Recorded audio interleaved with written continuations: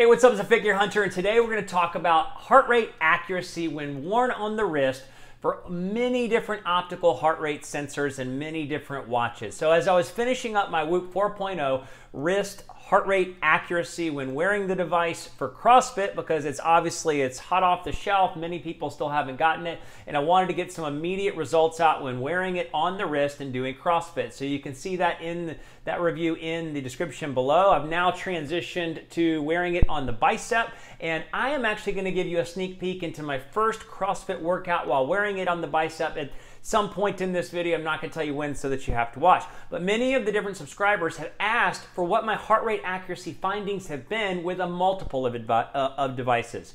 As always, I test you know, what's the average heart rate accuracy above 100 beats per minute? What's the amount percentage of accuracy in the zone 5, which is 90 to 100% of max heart rate, and then zone 4 and 5, so 80 to 100. So that's what these results are a culmination of. It's just percentage of weights to each of those accuracy percentages across a multiple of optical heart rate sensors when worn on the wrist. What we're going to find out is that you should always pair to a chest strap. So obviously some of these devices do not pair to chest straps, so we're gonna look at the results for them, and I'm gonna give you one big summary list of all the results as well.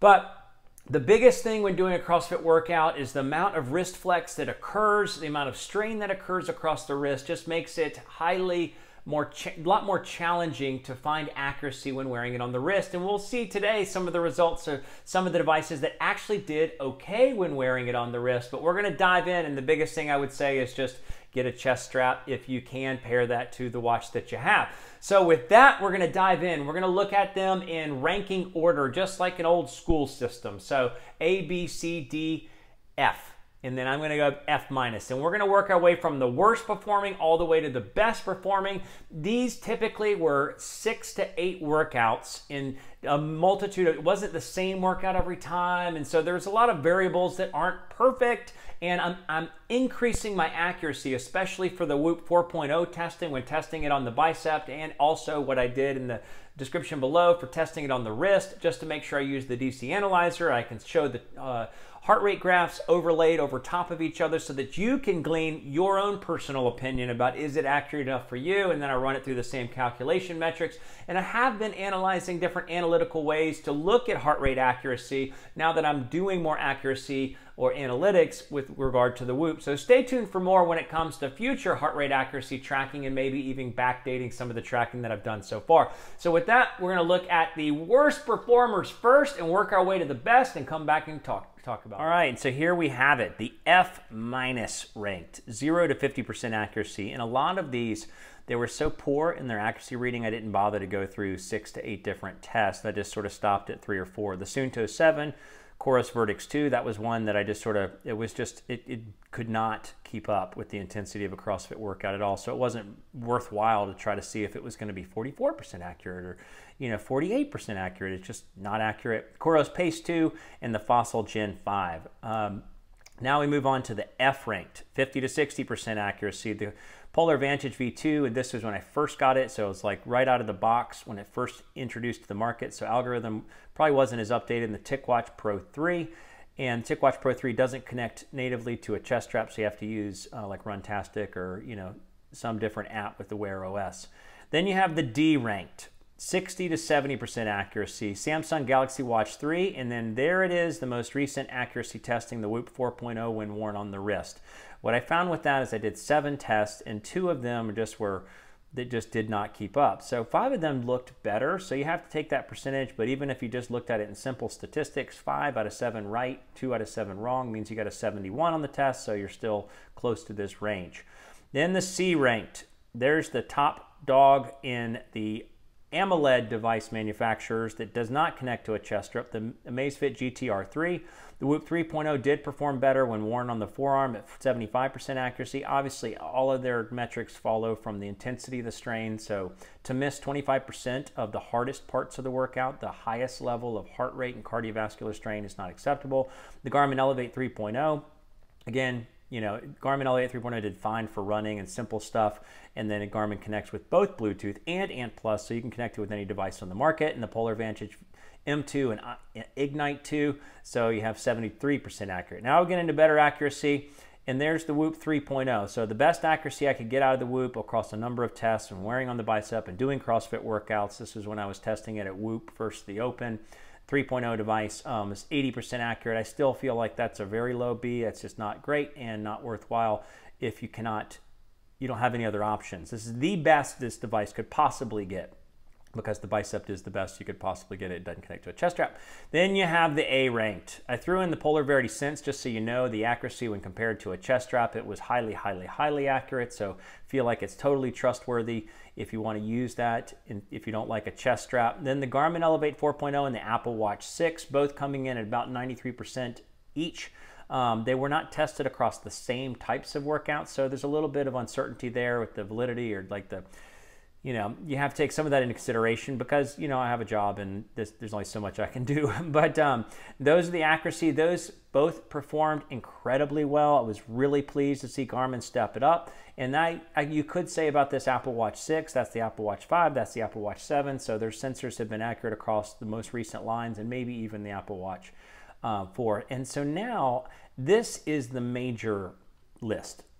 So you can take a screenshot, you can just look at this, um, you know, to be able to use it for future reference if you want to just look at all of them in summary, just sort of broken down by their percentage of accuracy, sort of banded amongst the typical um, grades in school. And then we have a sneak peek. And what we see here is the first workout with the Whoop 4.0 when worn on the bicep. The first was it was a it was like a um, a power snatch with a hang power snatch with a one minute 15 second break and then some overhead squats rotated between. And you can see it kept up with the highs and the lows and everything in between even on the warm up. It basically tracked the flow of the workout. I don't i feel like this is highly accurate. I don't think those little bumps is really any difference because it's going to give you the same strain score as if you wore a chest strap. And then we look at the first metcon from the whoop 4.0 when worn on the bicep and boom, there it is. You can't tell which is the chest strap, which is the whoop results because they're overlaid and on top of each other. So this was not, you know, I mean, it wasn't fluctuating heart rate. This was just a 15 minute all out where you basically had 10 wall balls to start off every minute on the minute. And then you did max um, calories uh, on the assault bike afterwards. So it was just in full intensity all the time, but the whoop kept up. So we're obviously going to have to check some high level variation in heart rate when doing a Metcon in future things. So with that, let's talk about what we see here in the results.